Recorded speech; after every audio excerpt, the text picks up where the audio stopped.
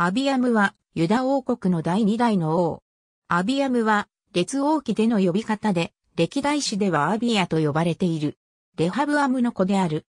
母については、聖書の記載に混乱が見られ、列王記上15、1では、アビシャロムの娘のマーカとし、歴代史下13、2では、ウリエルの娘ミカヤとする。紀元前913年に即位し、紀元前910年までエルサレムで統治した。上記の出自と、北イスラエルの王、ヤロブアムと、紛争が絶えなかったという点を除き、列王記と歴代史で大きく評価が異なる王である。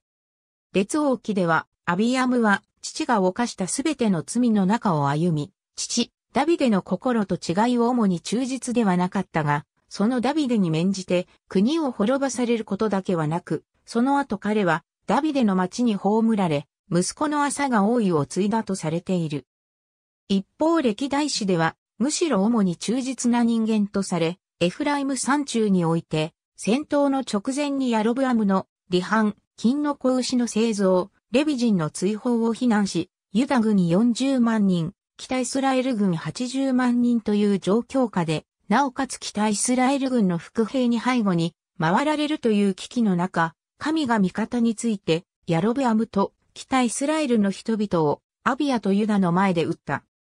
そのまま北イスラエル軍は敗走し、勢いに乗ったユダ軍はベテルエシャナイフロンの三つの大都市とその近隣を制圧し、ヤロブアムは最後まで勢力を回復できないまま主に撃たれて死んだのに対し、彼には14人の妻ができ、22人の息子と16人の娘が生まれるなど栄えたとされている。ありがとうございます。